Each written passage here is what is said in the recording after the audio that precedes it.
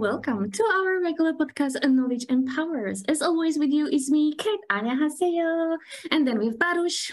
Hello, hello, hello. We have Kovac. Dobré ráno, dobré ráno. Good morning, everyone. And we have a guest as far as from Britain, and his name is Paul. Paul, hello. Hi, um, it's a great pleasure to be here, and good morning, everyone. Paul, could you please introduce yourself as whatever you want? so I'm Paul Skinner. Um, I'm the author of a couple of books. Uh, most recently, The Purpose Upgrade: Change Your Business to Save the World. Uh, Change the World to Save Your Business. Um, and before that, I wrote a book uh, called Collaborative Advantage. Um, I run a, a non-profit community called Marketing Kind, where we think the world's problems can also be read as marketing briefs in disguise. Um, and I do advisory work with organizational leaders on selecting, defining, and mobilizing around purpose. My book is called The Purpose Upgrade uh, change your business to save the world, change the world to save your business. Um, it's also available on Audible and elsewhere as an audiobook. So for anyone who prefers to listen, that is accessible as well. Um, the key premise of the purpose upgrade is that far from being a fixed object like profit maximizing or a North Star, our purpose can be our most adaptive capacity as humans. Um, it can be our most renewable resource in enterprise. And a purpose upgrade can be an always available event for any organization of any size in any sector. Um, and the subtitle construction, Change Your Business to Save the World, Change the World to Save Your Business. Um, is becoming increasingly literal in today's disaster prone world, where actually we are all creating through our businesses ripple effects that reach much further than we can see, um, and that rooting our activities in being part of the solution rather than generating further problems um, is key to a success that we can enjoy, a success that will endure, and a success that we can be proud of. So, who should read your book? Who should be interested in what you are describing in the Purpose Upgrade?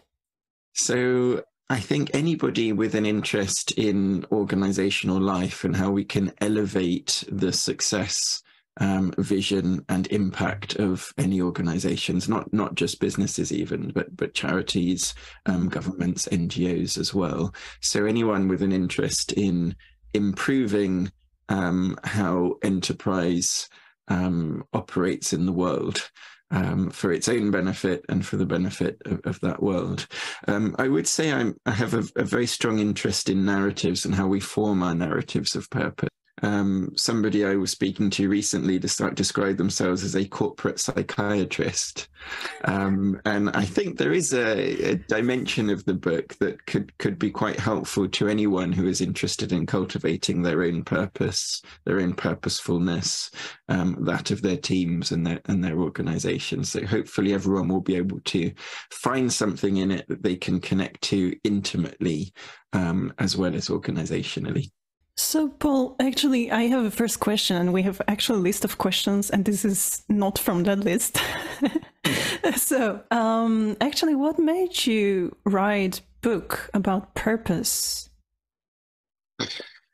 Yeah, so um, I I would say I, I as you um, for anyone watching the video, as you can see from what's behind me, um, I consider myself a, a reader first and a, a, and a writer very much second. I've written two books, but have you know certainly read more than two books. So I tend to only um, write a book if an idea really takes hold of me, and I feel that ultimately there's almost no alternative but to write it.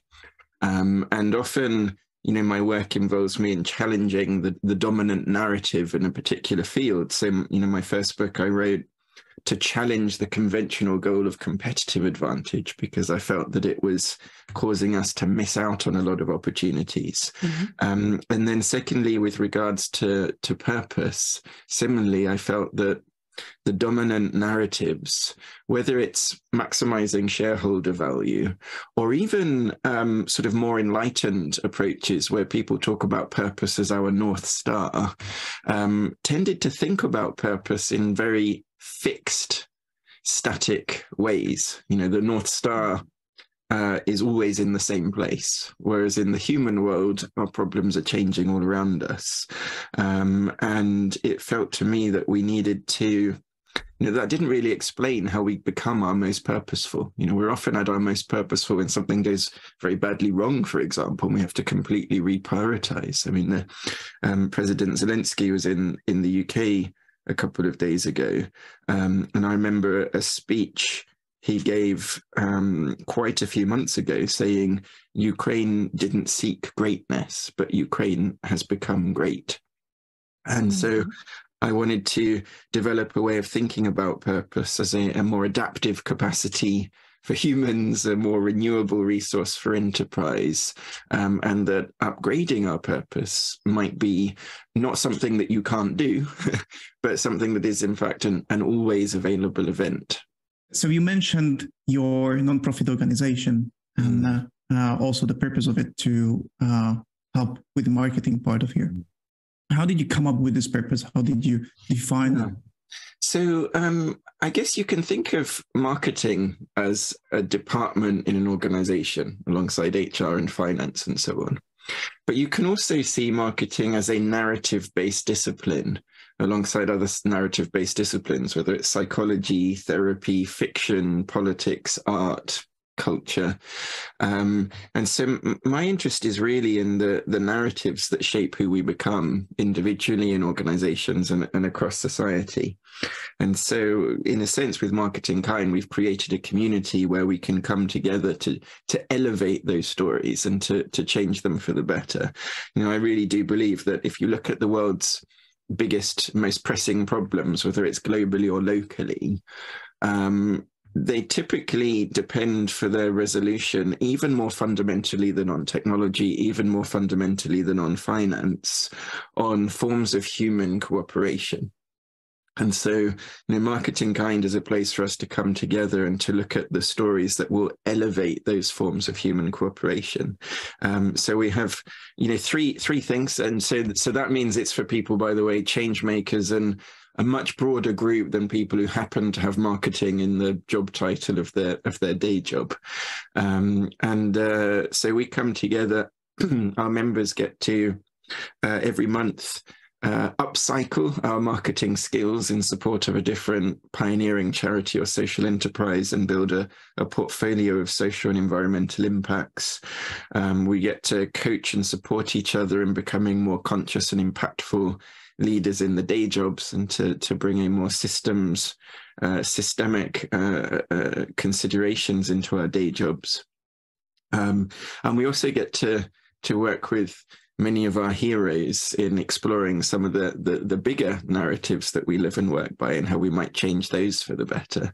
Um, and of course, I've learned a lot of what I've put in in my most recent book in, in, in any case from many of the people that we've worked with at marketing kind whether it's marketing leaders like seth godin whether it's um, leading economists like rebecca henderson um, or environmentalists like like mike berners-lee is there a purpose which was particularly interesting for you or inspiring for you which is like not of your own because that one is probably the most inspiring i guess but some someone the you've mentioned ikea greta thunberg individuals and companies. So which was the like yeah. which so i think one of the things i'm really interested in the purpose upgrade because in a sense that I, my sense is this you know science cannot tell us if there is a meaning of life.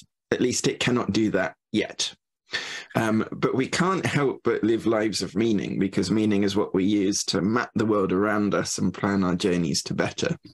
Now, the world is always moving and changing. And so those journeys have to keep shifting. And so I think what's fascinating to me um, is not to identify an individual purpose as if it was absolute and, you know, that is the, the ideal purpose to pursue, but rather to recognize that a lot of um, today's problems were actually previously solutions. So we're not necessarily malign or ill intentioned in the first place. Um, and secondly, um, that you know today's solutions will inevitably end up becoming tomorrow's problems in some way, shape, or form. So we always have to be vigilant to, to change our, our purpose and to upgrade it. So, for example, maximizing shareholder value, um, I would say is deeply problematic today. Um, but that doesn't mean there wasn't some common sense in the idea when it was introduced. You know, businesses were becoming more globalized, investors were becoming more removed from leadership teams, and some way of aligning their interests seemed self evidently um, useful as the context changed uh, and too many people pursue the same purpose of efficiency, which creates fragilities on a global scale, of course, that's led to a lot of problems. And so, you know, fewer people would speak un- with unambiguous praise of for, for maximizing shareholder value. Should I give one example of how this has worked in in, in practice? So one uh, business where I worked with several generations of the top leadership team on the book, um, is a was a, a business that was formerly a coal mining business that managed to become a sustainable food business. Um, so that that business is is called DSM, that which originally stood for Dutch State Mines. Now that company was born from digging coal out of the ground and delivering it directly to people's homes for heating and illumination. Now today, their business goals include things like um, reducing the micronutrient deficiency gap for 800 million people, um, achieving double digit um, on farm reductions of um, climate emissions, improving the livelihood of 500 million smallholder farmers it almost sounds like contradiction to what we're doing. Well, the, the contradiction to the business they were doing before, like when it, when it comes yeah. to mines and coal mining and everything like that. Mm-hmm. Exactly, and um, what, what I would say is that in making that transition from from coal mining, which was actually a perfectly respectable endeavor. Uh, but which, of course, today is, of course, complete, pr- completely problematic. You know, I would say DSM is quite a, a metaphor for the kinds of purpose upgrade that that we need right across society because we know that you know today living and working as usual has become deeply destructive um, and so I think we need to to remember that a lot of the the problems were yesterday's solutions, so we can bring some understanding to them. Um, but also that a lot of the what, what, we're doing today could be unconsciously creating, yeah, quite quite deep systemic problems for tomorrow. And so we, we therefore need to adapt and elevate our purpose to integrate that understanding. Yeah, like with the plastic, everybody wanted to have everything plastic because it will endure for hundreds of years and now you're like oh god what have you done with the plastic? Yeah do, do you know um, we had an we ran an event at marketing kind recently with john elkington who developed the triple bottom line concept and people planet profit. Um, and uh, I, I don't know if i'll recall this with sufficient accuracy but in his latest book he he mentioned a, an inventor called thomas midgley um, which just so wonderfully uh, illustrates this point. Midgley was responsible for inventing unleaded petrol, no, leaded petrol. Sorry. Now, of course, that invention was useful because it enabled a breakthrough in efficiency, um, making transport more inclusive, accessible, and so on. But of course, it then turned out that it had a, a, an extremely deleterious effect on our nervous system. He also invented chlorofluorocarbons. Mm. Now, again, it was a breakthrough because it made aerosols much safer to use. But then, of course, it ended up causing the, the hole in the ozone. And somewhat um, in a sort of dark irony, he um, had a debilitating illness and he invented a mechanical bed that would help him get out of bed in the morning. Um, and apparently it inadvertently ended up strangling him. Um, oh. uh, we can we can understand that it, it is often I, I think we need to recognize both that intentions can be very good so something that's wrong today wasn't necessarily malign in its intentionality, but secondly, that you know we can all be caught out by the th- the unintended consequences of uh, of our prior purpose, and that's why I think that you know we need to think of purpose not as a north star that will be eternally perfect, um, but but rather as something that we need to renew with vigilance, particularly in such a surprising world as the as the world that we're now living in. So um, this would be very suitable kind of attitude for businesses today. How about how about personal attitude to purpose? Would you suggest that we should keep changing our purpose? So I, I think there is no element of purpose that has to be set in stone. Um, so there was a comedian, Groucho Marx, who had the wonderful line, "Those are my principles, and if you don't like them, I have others." Um, and, and uh, we tend to laugh at the idea that uh, purpose can be variable and so on. But actually, you know, I, I might, um, you know, ask you, you know, do you have the same values today as when you were a teenager? Um, and do you think that it's possible that when you look back in many, many, many decades' time at your life as a whole, that your values will have further evolved?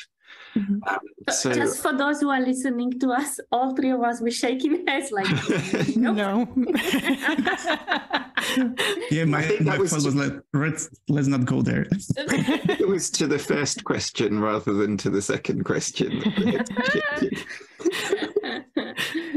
Should people read some other books about purpose from maybe different authors hmm. to understand what you're talking about in your book? So I, I, think absolutely. The, you you remind me of one of my favorite French writers, André Gide. Um, and uh, in one of he, his books, he, he addresses you as the fictional reader of his book. Mm-hmm. You're called Nathaniel in this particular instance, but it, it's quite fun to become a character in the book by virtue of reading it. Um, but in, in one of his, I think in, in one of the, the books where he adopts that strategy, he says, I want you to become, uh, I want you to read my book. I want you to become interested in my book, but I want you to become interested in yourself more than in my book. And then I want you to become interested in others more than in yourself. Um, and I think that's a, a, a really powerful lesson. Um, and in terms of reading, um, purpose we often think, as, well as thinking that purpose is our North Star, we often think that purpose comes from within and is about authenticity. Um, and I would say that actually purpose is best born not from introspection alone, but as the product of the relationship between us and others in context. I mean, for a business, there's no point in offering an authentic experience of gastronomic delight in an environment of food poverty you know, for example. And so, you know, purpose is really born, uh, it's a coping mechanism for addressing our problems. And that's how we get into purpose in terms of its evolutionary origins. You know, we're living beings um, in a universe where you know we haven't yet learned to live forever.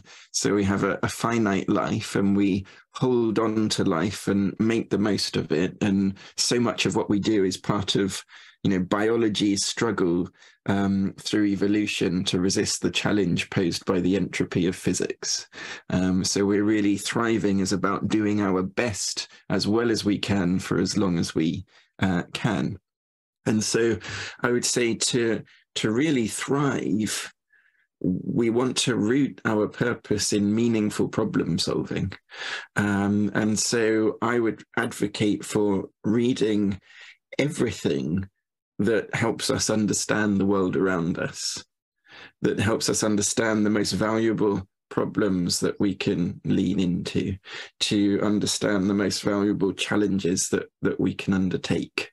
The good news is that today's world gives us plenty of um, problems to get to get stuck into, and so I think that's that's the kind of reading people should prioritize if they're looking to become more purposeful. Do you do some kind of like a seminars, like after, for example, if people read your book, and obviously they might have questions. So, whom is the best to ask if not the author? Do you do like a seminars af- like afterwards that people can then join and then have a place to ask further questions? Yeah, if anyone would like me to talk with the group um, in their company, for example, we could do a, a sort of a, a, deep dive into a purpose upgrade in an hour. So we can do a very concentrated session um, on the book, um, or I can spend a, a day with an organization. Um, and of course, in my advisory work, um, although it becomes you know more flexible and isn't sort of located just within an individual concept. Most of my advisory work is is helping leaders um, elevate the purpose, um, impact, and success of their organizations or particular initiatives within them that they lead. For the listeners, uh, we will keep Paul's like contacts uh, in the comments. And now to the second question and I need to bring it here. If you were a regular employee in a corporate and you finished this book, what would your next steps be? so I think um, a purpose upgrade is best achieved when you look at the organization as a whole. And so it needs both leadership in terms of direction setting, but it also needs a purposeful culture because although you need leadership to take concerted action, um, ultimately peripheral vision, fostering relationships, identifying the creativity that will come to renew that purpose has to come in a distributed way. So I think this is for everyone. Um, you know, even, you know, let's say you work on reception in an office building. Um, we can upgrade the purpose of that. Um, you might currently think that you're there so that people, when they arrive at the building, you know for security reasons who they are and who they're seeing, and that you direct them to the right place for their meeting. Okay, but what if the purpose was actually to improve the caliber on average, even by a little bit, of every meeting that took place for that company with people from outside of the business. You know, and if you stay in touch with the latest gossip so that when you know who someone's meeting, you can share some inside information that will make them smile. What if you have a little budget for some baked goods so that if somebody isn't looking quite at their best when they arrive, you can give them a little bit of a boost? Um, what if you're a train manager and you check tickets on a train and you think that you're there to make sure all the passengers have the right tickets? Well, that's great for the train company. But actually, what if instead your purpose was to make a small contribution to improving the journeys of people on the train, mm-hmm. making sure the internet is working, making sure people have access to what they need to know, um, or just occasionally, you know, m- maybe saying something that will stick with somebody um, throughout their day. Um, so, you know, sorry to jump in your words, but this morning we had a breakfast date with my husband mm. and we went to a place uh, and there was this lady she had this huge smile on her face and she asked us have you already tried our qr ordering? And we are like not yet. Would you like to? And and then give me feedback because we're trying to improve and you can mm. do this and that. And then she gave us also like hand handout but she was so pleasant like so nice. And my husband a little bit sensitive to that as he's huge introvert and he was like oh, i just have such a nice day. And and she just kept smiling all the time and then she uh, listened our feedback and so on. So it was really just that small gesture just really made our day just beautiful. And it yeah. was amazing. It, it's interesting because often you know the i'm often writing to kind of unpick and replace particular narratives, often narratives that have originated with finance and economics. And what's interesting is that economics assumes so much away. You know, once you reduce something to a number, you take away human context, human mm-hmm. relationships, and human nature. And so a lot of it is not very behaviorally adapted. And you end up with a sort of computer says no mindset in instances. So, one really nice example of a management practice that unpicked a lot of that and helped us just be more ourselves at work in a way that automatically fulfilled this goal um, was a, a, tourist destination called the Eden Project, which when it opened, the very um, charismatic founder um, said to all his staff, you know, if you come up against a problem with a customer um, that we haven't anticipated, and there isn't somebody immediately available to tell you what to do. If you just use your common sense and respond to that problem and try to address it meaningfully, and you get it wrong, I will fully support you. But if you just ignore that problem and keep going as usual, you're not the right person to work here. Hmm. Um, and so I, I, I, just felt that maximizing our ability to use our full capacity in context is is one of the best ways to to make our purpose more adaptable and adapted. And giving people the trust that you have towards them. Mm, lovely. Hannah Arendt, the philosopher, said that ultimately the final advantage of democracy over dictatorship is the capacity for renewal. You know, the mm-hmm. fact that you have that ability to say, nah, no, we think this is wrong mm-hmm. and we want to change it. Um, and I, I, think that that can apply um, in some ways there isn't a more valuable way to increase the value of an individual job, an individual activity, or an individual business than by elevating its sense of what success looks like in the first place. Um, and so pursuing the right version of success rather than sticking blindly to a, a, prior version that is no longer right for circumstances is, is is very key to this.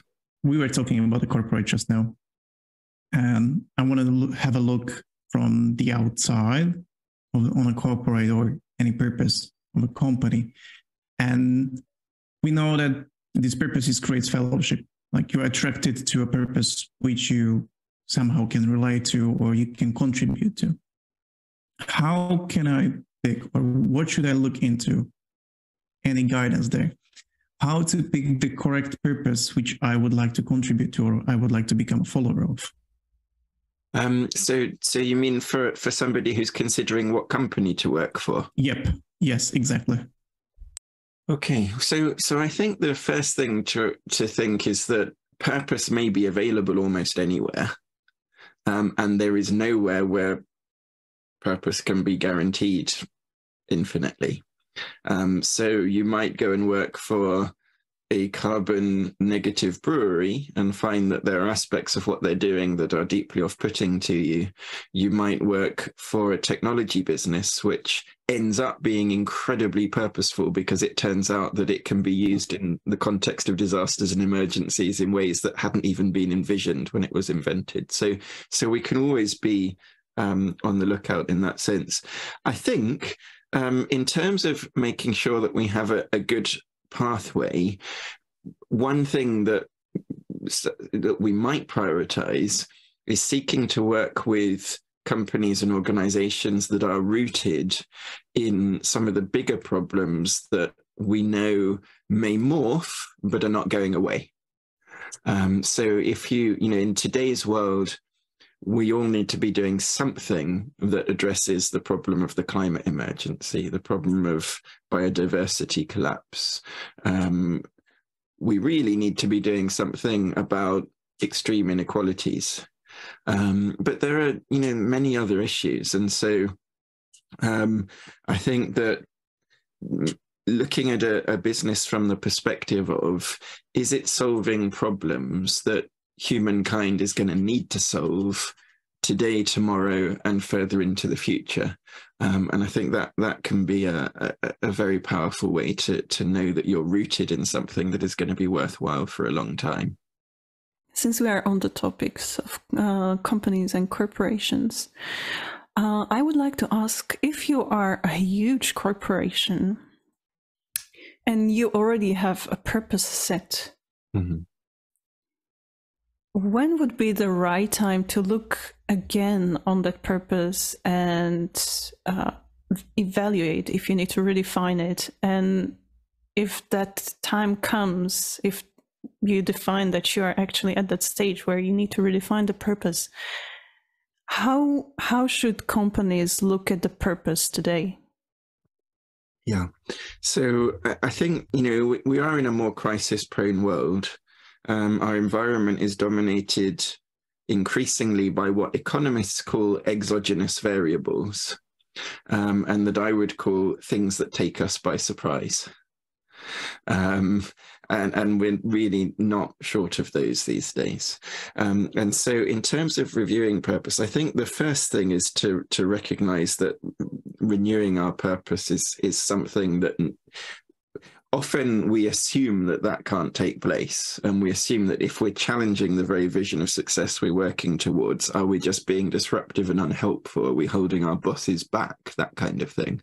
And so i think the first thing is just to introduce cognitively the notion of, of a purpose upgrade as an always available event means that we have an extra layer of a deeper layer of um, of um, adapt adaptive change that we can bring to an organization um, and then secondly um, purpose is really born from from the problems we have to solve so in a sense there's a line in a uh, uh, a song I heard a few days ago. If you're looking for a purpose, then no purpose will you find. I think it's no bad. Um, and uh, if we look to the changing nature of the problems around us, it becomes easier, first of all, to identify purposeful activity and also to align people in around the recognition of the need to pursue that purposeful uh, activity. Um, and in today's environment, you know, we don't know the degree to which the climate emergency will lead to more global cooperation or more conflict, or the cost of living crisis will lead to more breakthroughs um, or, or just more retrenchment, or what will be the impact of technologies, either in terms of advancing our opportunities in life or actually making us more fragile and exposed to rather more rather than less exposed to risk. Um, but this environment creates quite deep, rapid, and extensive shifts in the priority needs of the people we're serving. And there was a, a banker who in 1929 said to the Harvard Business Review that we needed to go from a business culture that addresses needs to addressing desires. And in a sense, that maybe gave birth to consumerism, the marketing profession, and so on. I think today the pendulum is swinging back the other way. And the way to make sure that we maintain an adaptive purpose um, is to lean into the changing nature of the human needs among our stakeholders. Um, and that can help us be more vigilant, find more valuable purpose to pursue, and better align people around that purpose. We you mentioned here like a, all the theory here on HBR about the needs and desires. And you also uh, said uh, the theory of maximizing shareholders' profit, which comes from Milton Friedman, if I'm uh, if I'm correct, which is also a theory which I'm really not a fan of. Uh, and I was wondering, um, if you've met Milton Friedman, what would you say to him, or ask him, or let him do, you know, whatever. What would be your meeting like with him? I would cut him some surprising slack, I think. um, and the reason for this is so profit maximizing if it was an experiment, first of all, there was a reason for it. So, you know, businesses were becoming more global. And the problem was that business leaders were becoming far removed from business owners. And, and there wasn't, we didn't know quite what to do about that. It was called the agency problem. And so the idea of shareholder value maximization was a genius, simple, um, and powerful way to attempt to align the interests of those groups. And so, if a small number of businesses tried this out as an experiment, I think we'd learn a huge amount of valuable insight from that experiment. The problem is this it became the dominant goal of all businesses, or certainly all, all corporates globally. Um, and like any good idea, it has a shadow. So, what about all the other stakeholders? What about externalities? What about destroying the environment? You know, turning our home into an asset to be depleted and exploited? You know, what about rising inequality? Um, what about the Im- unintended impacts of technologies? Um, uh, so, um, in a sense, it became, you know, maximizing shareholder value as an outcome for a few businesses, fine. Um, as a goal for businesses less good because it doesn't really tell you how to go about creating your profits in the first place or or what things to avoid if you want to continue doing that for a long time. So as an outcome it was okay. As a goal it was less good. But as a goal for all businesses to pursue at the same time collectively creating enormous hidden fragilities in the economy massive disruption and destruction of society um, and the devastation of huge portions of our planet, you know, that that's where it's gone wrong. So I think I would cut him some slack in terms of the initial ideation process. The the problem is that we have taken his idea too literally and to too great a mm-hmm. scale, and that it now needs to be completely re- renewed. This will be a tough question, probably, but I'll brace myself. um, if a company is interested in maximizing their profits, mm. is there any way that a good, well defined purpose can help them with this? So, um, it is the case that since Adam Smith wrote The Wealth of Nations, even though it's somewhat of a travesty of his thinking, um, in classical economic thinking, we've been told if you seek selfish benefit first, we somehow end up with a collective good as the happy byproduct. And a lot of people have been using the line recently. I can't figure out who's used it first that maybe the invisible hand was invisible because it's not really there.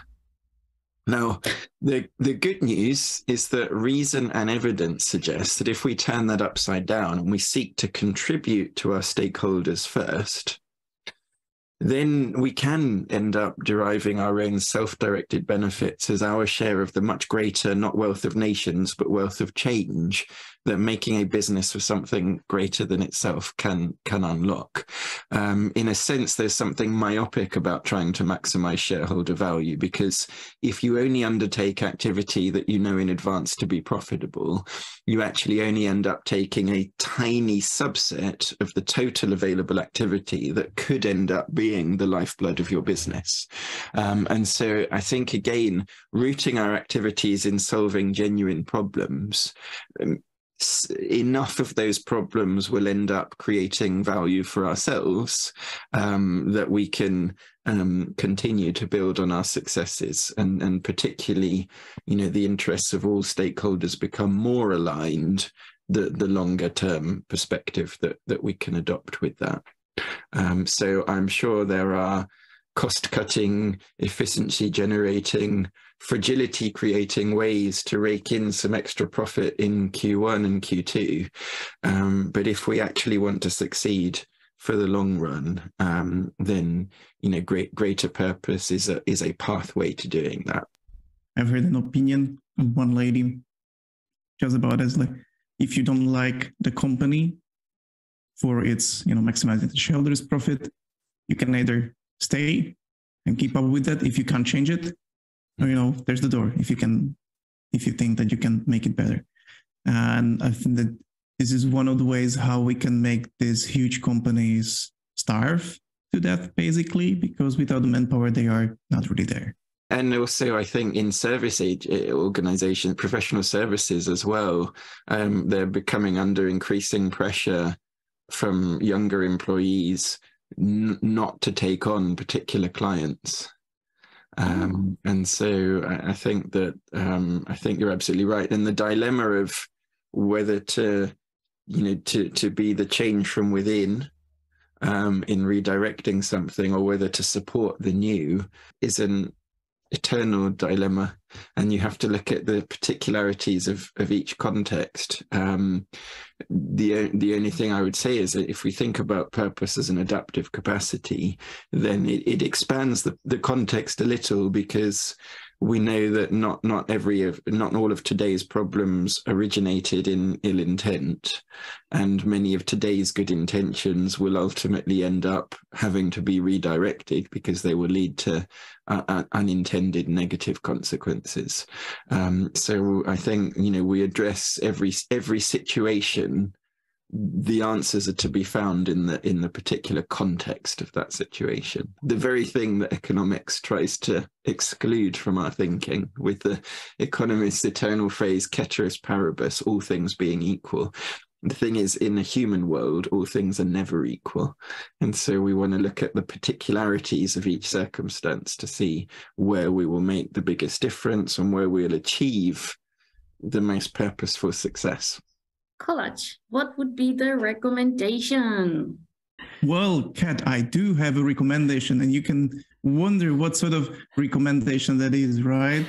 so I do, I do recommend reading the Purpose Upgrade book uh, from uh, author Paul Skinner. You know, so I think that when you start this podcast again, you can get more information about what this book is about. But I really, really strongly recommend that it's not just about the purpose upgrade. You can read there a lot of stories about companies and individuals and how they bring their purpose upgrade to life. And also some guidance for you, some questions to think, some purposeful next steps for you to do your own purpose upgrade. Paul, is are there any last words you would like to say to our listeners and to our viewers? So, um, in in Buddhism, apparently there is a, a tradition. I think it's called the koan, um, of asking a question that is deliberately designed to disrupt a prior pattern of thinking to open the door to a more expansive model of thinking. Um, and so maybe I'll leave with a question that I've put to a few leadership teams recently that they found an interesting provocation, which is, you know, what if instead of trying to lead the best businesses in the world in your particular sectors, you shifted to trying to create the best businesses for the world. Um, what could that mean for your stakeholders and what could it mean for your business? Wow, that's very powerful. Thank you for sharing, Paul. And thank you for uh, being with us on this podcast. It has been so much fun. with that said, I'm going to say Sugashasmida. Thank you. Bye bye. Чаути, чаути, чаути. Bye. This podcast represents our own opinions, experience, and our own ideas. We do not represent any official statement from our employers, and this is not their official channel representing the company.